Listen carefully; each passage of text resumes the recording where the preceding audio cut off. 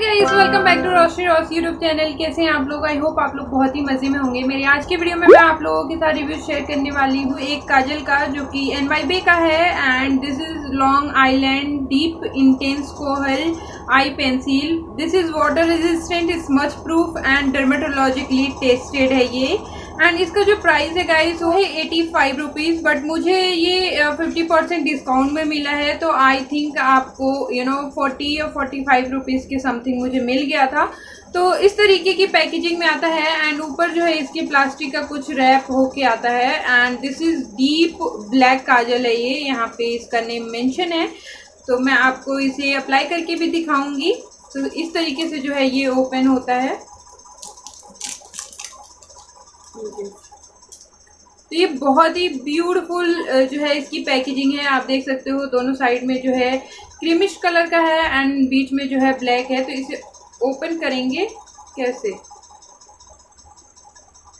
Okay तो इसे open करने के बाद कुछ इस तरीके से जो है हमारा काजल दिखता है तो मैं आपको यहाँ पे एक बार अप्लाई करके दिखाती हूँ।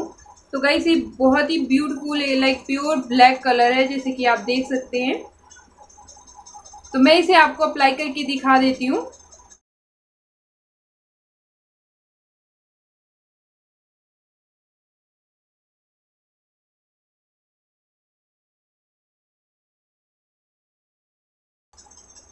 तो ये बहुत ही इजीली जो है ब्लेंड हो जा रहा है लाइक बहुत ही इजीली लग जा रहा है, बहुत ज़्यादा आपको घुमाना नहीं पड़ता है। तो मैं इसे इधर भी अप्लाई करके दिखाती हूँ आपको।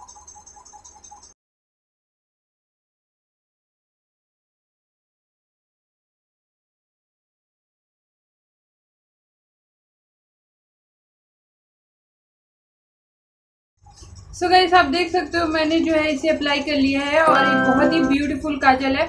तो आप जितना मोटा करना चाहें, मोटा लगा सकते हैं, जितना पतला लगाना चाहें, पतला लगा सकते हैं और आप इसे एज आई लाइनर लगा सकते हैं।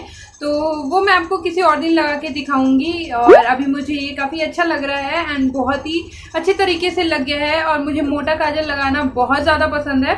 और साथ ही साथ मैं पतला भी लगा लेती हूँ। ऐसा नहीं है कि मुझे मोटा काजल लगाना पसंद है तो मैं पतला काजल नहीं लगाती हूँ। नहीं, मैं कैसे भी लगा लेती हूँ। जब डिपेंड करता है मेरा कैसा मूड है तो अभी मैंने इस तरीके से मोटा काजल लगाया तो काफ़ी अच्छा है। आप चाहें तो इसे और मोटा कर सकते हैं और आप चाहें तो इसे जो है एज पतला काजल ही लगा सकते हैं सिर्फ़ अपने वाटर लाइन में। और मुझे काजल सबसे ज़्यादा पसंद है अपने you know upper water line में लगाना इस तरीके से। इससे बहुत ही एक आईलाइनर का इफ़ेक्ट आ जाता है और मुझे बहुत ज़्यादा पसंद है।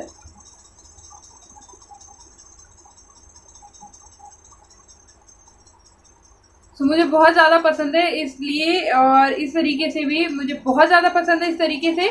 क्योंकि आईलाइनर नहीं भी लगाया हो और काजल को ही हम ऊपर नीचे दोनों साइड में लगा लेंगे तो एज अ आईलाइनर का इफ़ेक्ट आ जाता है। आपकी आईज बहुत ही ब्यूटीफुल लगती है, साथ ही साथ एक यू नो आईज बड़ी बड़ी सी दिखती हैं, जो कि और ज़्यादा अच्छा लगता है। तो अगर आपकी आईज छोटी है तो आप भी इस तरीके से लगा सकते हैं गाइस और ये बहुत ज़्यादा अच्छा काजल है।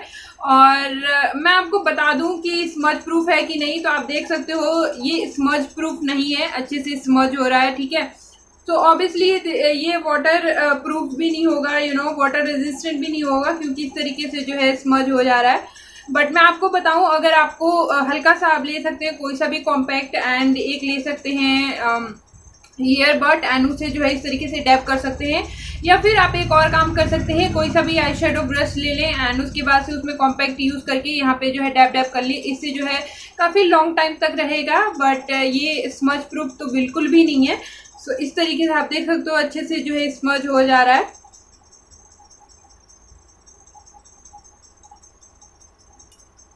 सो so, या गाइस इस तरीके से जो है ये काजल है बट ये बहुत ही ब्यूटीफुल ब्लैक कलर है। एंड सबसे अच्छी बात है ये बहुत ज़्यादा अफोर्डेबल है। अगर आपको 50 परसेंट डिस्काउंट में मिल जाता है तो बहुत ज़्यादा अफोर्डेबल भी है।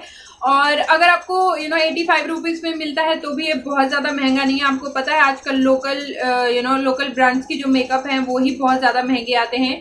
तो ये बजट फ्रेंडली भी है एंड इसलिए मुझे बहुत ज़्यादा पसंद है। एंड डर्माटोलॉजिकली टेस्टेड है which is very good dermatologically tested है तो।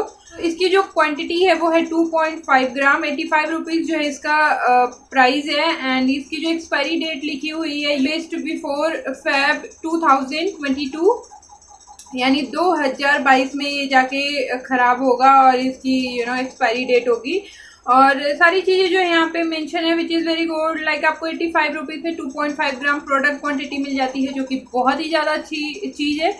और इस तरीके से आप यूज़ कर सकते हैं गाइस ये काफ़ी ज़्यादा यू नो अफोर्डेबल है। एंड uh, इसे जो है स्मच प्रूफ वाटर प्रूफ तो आप खुद ही बना सकते हैं। सो आई होप गाइस आपको ये रिव्यू पसंद आया हो। अगर रिव्यू पसंद आया है तो लाइक शेयर सब्सक्राइब ज़रूर करिए। मुझे कमेंट करके बताइए आपको ये वीडियो कैसी लगी। नेक्स्ट वीडियो आप कौन सी देखना चाहते हैं? तो मैं मिलती हूँ मैं नेक्स्ट वीडियो में। तब तक के लिए bye bye love you all